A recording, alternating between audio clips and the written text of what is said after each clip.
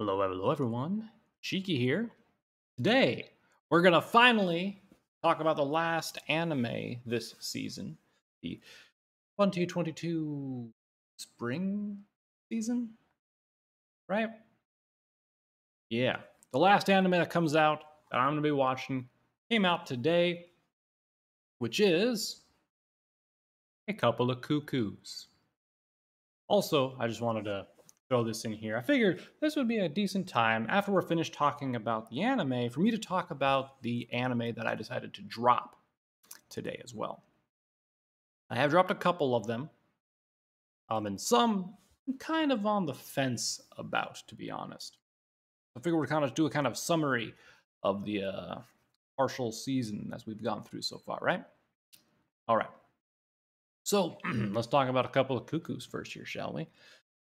So it starts out about this uh, boy named Nagi, who's a second year high school student, as anime typically have their romance be. Um, and it's about him meeting this girl named Erica, and also about him meeting his birth parent. Because what happened is he and another child were switched at birth, basically. And 16 years later, they finally figured it out. Parents got together and they were like, let's meet our real kids. And so they decided to do that. So episode one starts with uh, the meeting taking place later in the evening. His parents go on ahead to talk to the parents of the other child. Meanwhile, Nagi's like, I'm going to go study and then I'll go to the place later, right? And so he wanders around outside and he sees a girl who happens to be this Erica girl, the one with the uh, the pinkish kind of hair in the front, and uh, she's crouching on top of this like uh, over roadway bridge thing, right? And she looks like she's about to jump, so he rushes over and like pulls her off, and in the process, as one does, accidentally cops a feel of her breasts, right? And so this opens up the way of why she was doing this because she wanted to send this to her mother or whatever because she is in an arranged marriage that she does not want to be in. And so she blackmails Nagi with a video of him grabbing her breasts to have him fake be her boyfriend. And so they basically go on a date in the first episode, trying to get pictures of him and her being close together that she can send to her parents to be like, I already have a boyfriend, cancel the fucking arranged marriage, right? so they go through all this, have a little date in the town, trying on clothes and all this stuff, right? And then the girl goes away, she goes back home and whatnot as evening approaches. And then Nagi goes to the meeting, talks to the parents, and they were like, by the way, Nagi, we both like the children that we have, but we also want to like get to know our actual biological children. So we decided what would be the best thing to do would be to have our biological children get married to each other. So that way, all four parents can be the kid, uh, be the parents of these two kids, right? That way, uh, they won't have to like go live with each other, um, biological parents, and kind of get rid of the you know, parents that they grew up with, right? And so, he's an arranged marriage that he did not know of. The twist comes when Erica arrives at the dinner party, and is revealed to be the person who he got switched at birth with. And the arranged marriage she was talking about was with him, and he is supposed to be getting married to her. And so the uh, the pictures that they took and the one that they sent to her father, and he just kind of laughed off when he saw it, makes them seem like the parents seem like they're already dating and like everything's going to work out. So it's kind of a uh, show like that where it's uh are they going to get together are they not they seem kind of hesitant about it but erica seems kind of like she's into it after the first date thing happened nagi has a crush on someone else that he is interested in and basically in order. I'm going to go a little bit the manga territory with this, but basically, the girl that he likes from his school, she is like the number one in the grade. And in order to like have his feelings for her like uh, returned or whatever, I think she told him that he needs to like beat her in like academics and stuff, right? And so he's been studying for like years to like do this because uh, I think he knew her in middle school like that. I don't I don't remember exactly, but anyway, that's kind of the long and short of it. So he's still trying to get this other girl, while Erica might have feelings for him, and it's kind of their parents are being like, "Hey, you two should uh, you two should like marry, uh, so we can have both of you be our kids. You know, it'd be great." And uh, it's kind of like a weird thing, but yeah. Also, there's other drama that comes in later and after watching this, I remembered why I think I dropped the manga. I either caught up to the manga English translation or I dropped it. But I remember something I didn't really like ends up happening. Something that gets really shady and adds a lot of drama into the uh, the show. And I didn't really like that. You know? And so I was like, eh, weird. But with it being an anime, maybe it'll be a little less awkward and weird, and I don't know. We'll see. That stuff's probably going to be the finale, I have to guess. So, yeah, we'll see how things go.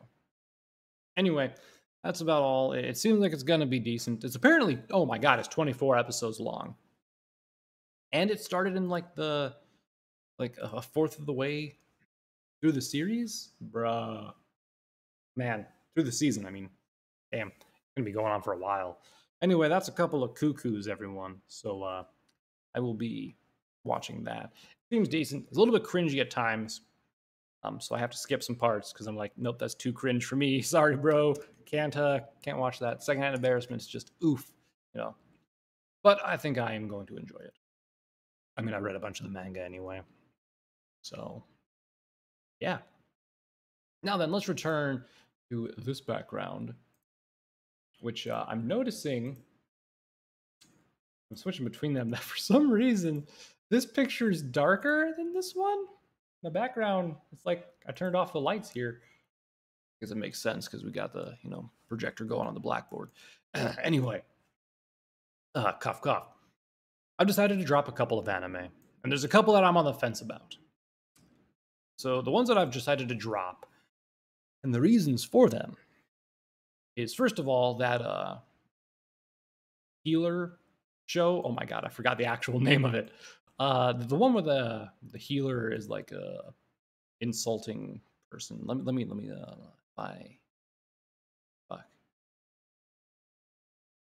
Yeah, it's the one with the healer girl who uh insults the guy. It's it's it's uh Kono Healer Mendokusai. That one that I thought was going to be funny. And I was like, yeah, this is my brand of humor. But uh, I ended up, after the second episode, didn't really like it. It was just kind of weird. I don't know. It's like, I like the jokes, but for it to be, you know, like 20 minutes of just these kind of dry jokes going back and forth. It kind of was boring to me. And it just it I don't. Like I can't see myself watching 12 episodes of this. I just I just can't. So I uh, probably won't. Yeah, that's why I dropped it. Anyway, moving on to the next one that I decided to drop. It's Tomodachi Game which the first episode I was actually really hyped for. I was like, this is gonna be good. Then the second episode happened, and it turned from there being like somewhat like mysterious subterfuge and kind of is there a traitor among us mystery game to there being by the way we're going to create a bunch of drama between all these characters and none of them are going to be likable anymore yeah like the first episode built up the characters to make them like all seem like friends and be like decent people. And at the end of the second and third episodes, I basically don't like any of them, even the main character who like isn't that bad, but he just like doesn't know, he he doesn't do much. You know what I mean? He just kind of sits there, even though he's like, I'm gonna beat this game with my friends, we're gonna be in intact and everything, and he just uh yeah, doesn't. After the second game happens, he just kind of fucks off with that idea. And yeah, it, it's I don't know. I just didn't really feel like it because like the point of the second game is to like get to the end of this like like a game of life essentially where you get points and you go down like a, a game board essentially however if you step on a, space you can potentially have uh, more debt added to you right and so they didn't realize this at first they were all going to go together you know one space at a time uh, however after they learned that they all started to play the game and uh, the way that the game is played, whoever. So they have this like time in the beginning where they can write things about each other that put them in a negative light. Like one girl, for example, it was like, oh, such and such had plastic surgery. And so that kind of puts them in a negative light. And then there's commenters, people who are watching the game play out, who vote, and whoever gets the highest uh, amount moves the furthest spaces based on this like uh, amount system thing that they have. And so it, it devolves into them basically being like, okay, we need to actually play this game. And the main character is obviously being like, I don't want to play this game. And yet it's the mystery part of it where they're all like, yeah, well, we're going to do it anyway. So there's people who are writing stuff, or perhaps the main character's writing stuff and we're just uh, like acting like we don't understand that he's doing that. Or it's all actually just rigged and no one's writing anything. And like there's people who have researched about these people and they are writing that stuff and just pulling it out, saying someone wrote it. I don't know. Regardless, it got stupid. Like, I did not like how it progressed. And it, it's not like just normal stuff like, oh, they had plastic surgery it causes a bunch of drama because they like have their relationships under assault and the people that they like are revealed and all this other drama that involves their families and stuff like that and like one girl did compensated dating and then she freaks out when that's revealed and like they cannot poker face for the life of them either like these are things that can be lies you can lie about these things you put on there but instead of being like, yeah, that's, that's obviously a lie, they're all like, oh, they know. And they just freak out. And it's so obvious that, oh, yeah, that's true. Mm, yep. And it's like, my God. And so I was like, mm, mm, no. Like, if it would have kept going the same vein as the first episode, where it was like a, uh, they were all seeming to be friends while trying to play the game and trying to like betray each other like while doing that i would have been like yeah i'm in let's go but the fact that it turned so suddenly into them like turning on each other and producing a bunch of drama i'm just not into it. Also the third episode when the compensated dating thing was brought up i did not actually watch that entire episode. I basically watched it until that reveal occurred. The girl screamed, and then I was like, hmm, I don't want to watch the rest of this episode. Because in the beginning of it, it, it warns against like this episode is going to contain like bad stuff, like rape and all that kind of stuff. And I'm like, mm, okay, nope. And that was out, which is odd because like I don't mind those things being in like shows like Goblin Slayer and stuff like that, where it's like a more fictional setting, you know, but where it's like a, a real sort of environment with like real people involved, and it's not like a fantasy world with monsters. Kind of changes it a little bit for me. And so I was like, nah, not gonna not gonna continue watching this. Because if this is what's gonna happen, like it's just gonna get worse with more drama being introduced between them, them turning on each other. and it's like, Jesus. So not into it. I'm done. Dropped it. Anyway, moving on to shows that I might drop later on, um, but I'm not 100% yet. There's that Dawn of the Witch uh, anime, which was that spin-off of the Grimoire of Zero, which it's it's okay. It's an anime to watch, but so far I have not like been enticed by it. It hasn't really spoken to me on a man, I really want to watch that level. You know, I'm just kind of there. Same thing with the uh, the Virgin Road anime, where the first episode was amazing, where like it kind of subverts your expectations of what's going to happen in an isekai environment, and after that, it kind of goes downhill, and I'm left being like, ah, this is going to play out much differently than I thought. I'm just not as into it because it's not as uh, actiony and stuff as I was expecting it to be from the first episode. Yeah.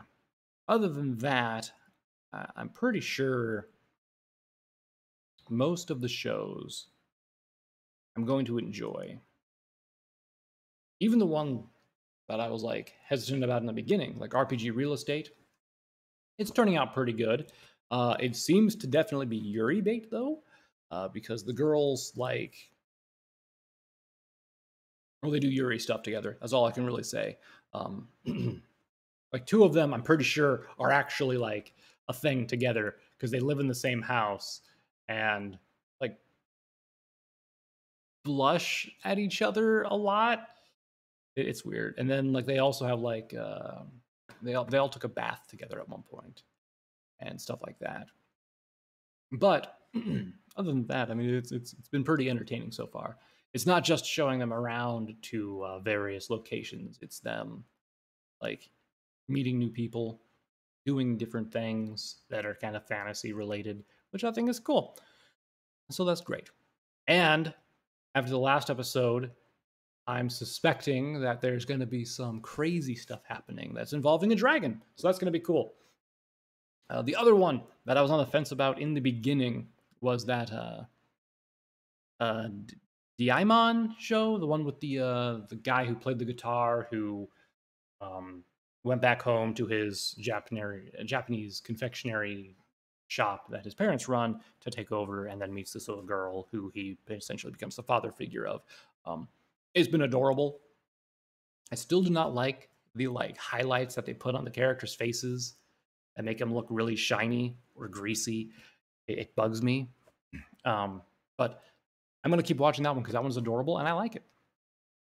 Yeah. Other than that, real quick, just to sum up great ones that I am absolutely 100% into that are entertaining. Uh, we have the Skeleton Knight in Another World anime, the isekai where he gets uh, sent back as a skeleton knight. Uh, it's, it's pretty great. All the stuff that's going on in that one, I love it. Spy X Family is just simply divine. It is amazing. Um, it's probably going to be the number one anime this season, with Skeleton Knight for me being number two. And then, of course, you have the Otome Mob, which honestly I think it's fucking great because uh, I read the manga, so I'm really excited to see it in the anime form. You know, uh, then you got um, the, the, the hero who quit heroing and joined the demon army, which is just decent. Um, it, it's not really that great or anything, but it's pretty pretty poggers. And then you have the other greatest demon lord uh, who reincarnated as a uh, rando or something like that. But uh, that that one's pretty good too. It's got some clean animation, excellent magic and fighting, and uh, man, that one's just gonna be fun. The rest of them are all kind of middle ground the uh, the summertime one. I, I, haven't seen the second episode of the summertime one where they like death loop kind of thing. Uh, the kawaii girlfriend one is it, it's cute. it's just cute. That's all really about that one. Uh, the Aharen-san anime where it's that really short girl who's not expressive and the kind of blank, scary looking guy who becomes friends with her is pretty cool, pretty poggers. A little cringe at times, so I skipped through some of it. But other than that, really, really decent. That's pretty much all. Also, I guess there's the the second seasons for things that are coming out, like uh, Shield Hero, which is lovely and just just mm, just so good. I, it's been beautiful and pretty pretty nice. I do say so myself.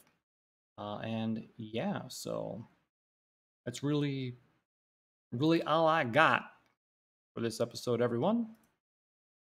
So, actually, hold on.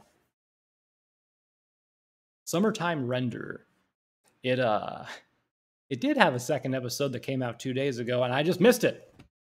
I guess I uh I, spaced off that that one had thumbnail that looked like that.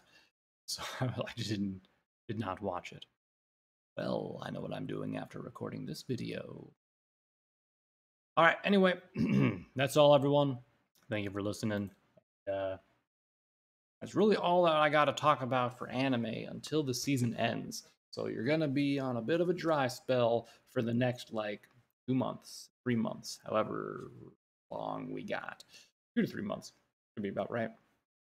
Anyway, thank you all for listening. Um, I'll catch you next time. Bye for now.